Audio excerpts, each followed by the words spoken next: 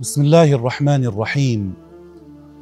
جزاؤهم عند ربهم جنات عدن تجري من تحتها الأنهار خالدين فيها أبدا. رضي الله عنهم ورضوا عنه. ذلك لمن خشي ربه.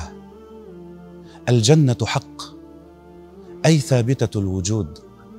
والله سبحانه وتعالى جعلها دار السلام. للمؤمنين وهي موجودة الآن لها أرضها المستقلة. والله سبحانه وتعالى جعل لها ثمانية أبواب.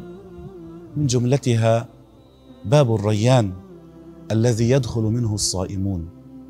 هذه الجنة حري بنا أن نعمل لها وأن نشتغل وأن نسعى لنكون من أهلها. فماذا أعددت لها؟